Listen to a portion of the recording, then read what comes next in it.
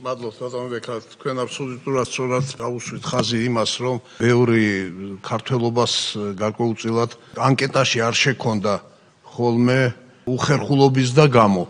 აი ზუსტად რომ დღეს რუსეთის ფედერაციაში უკვე შეიცვალა მდგომარეობა იქიდან გამომდინარე რომ იქ გამოჩნდა ერთი ადამიანი ცეცხლაძე რომელიც ამას ხელმძღვანელობს.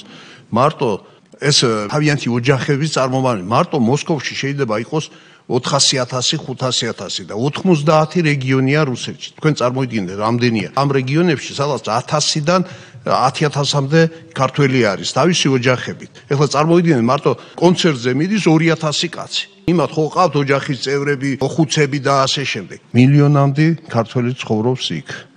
თუმცა მიუხედავად ამისა რომ მილიონამდე ბევრი ამბობს რომ 100000 არისო როგორ შეიძლება 100000 იყოს მარტო ერთი 200-300000 აფხაზეთიდან ომი რო იყო მაშინ წავიდნენ იქით და წარმოიდგინეთ თქვენ კონცერტზე იქ მოდის 2000 კაცი ქართველი. ესე იგი 2000 კაცი ეს კონცერტზე დადის ძალიან ცოტა ხალხი და 2000 რომ მოვა ეხლა რამდენია შეიძლება იყოს 0.1% 0.1% თუ არის სადაც მილიონზე მეტი ცხოვრობს ეს მარტო მოსკოვშია. მე ნანახი მაქვს აქვს ვიდეოთი, ესეთი მაგარი კონცერტებია. მე სხვადასხვა თქვენს გადმოგიგზავნე წინათ. ეხლაც იყო ისა. შეიძლება რაღაცა ღონისძიების ხრი მოვიწვიოთ ის ქართველები, რომელიც იქ აი ამ კონცერტს გამართავენ ხოლმე. ეხლა მე კითხვები მაინტერესებდა, რა გვაქვს ჩვენ მიზნად ამ თემატური მოკვლევიდან? აი რა გვაქვს მიზნად? და ჩვენ ხო აქ ვიხილავთ პარლამენტში კომიტეტზე ვიხილავთ ესე იგი რაღაცა ისეთი უნდა იყოს რომელიც იქნება საფუძველი რომ კომიტეტმა ჩვენ ყველა მოამზადო კანონ პროექტები რომელიც ამ მიგრაციას ჩვენ სასარგებლოდ შეცვლის. ესე იგი, უნდა იყოს ის არგუმენტაცია, ის ფაქტორები შესწავლილი. ჩვენი ქონება, ჩვენი ქართველობა. მე ვამბობ, ჩვენი ქართველობა არის ჩვენი ქონება. ეს ცოტა სხვა რაღაცაა. ჩვენ ადვილად შეგვიძლია მოვიზიდოთ. აქ რო ველაპარაკო შენ ქართველი ხარ ქართულა ბედნიერება მოგეცა შენ ქართულად რო დაიბადე.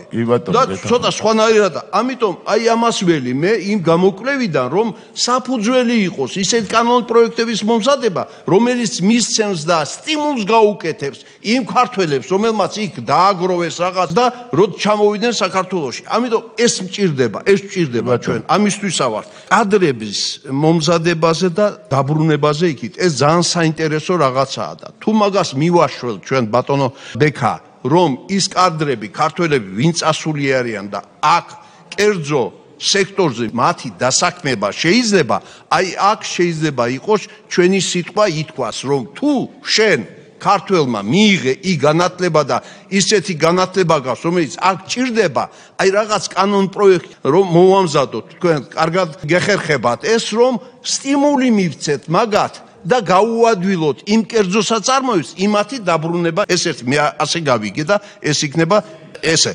ეხლა კიდევ ერთ მაინტერესებს ეს დადებითი დინამიკა. დაკავშირებული იყო პანდემიასთან იყო თუ იმ ეკონომიურ კრიზისთან რაც ეხლა ევროპაშია და სხვადასხვა ქვეყნებშია. იქ კრიზისია სხვადასხვა ქვეყნებში, საქართველოსი არის წინსვლა. ვასეა და ცალსახად არის. აი ეს დინამიკა ამ კრიზისიდან გამომდინარეობს თუ პანდემიიდან თუ ის დინამიკა დადებითი გრძელდება. აი ეს მინდოდა მე.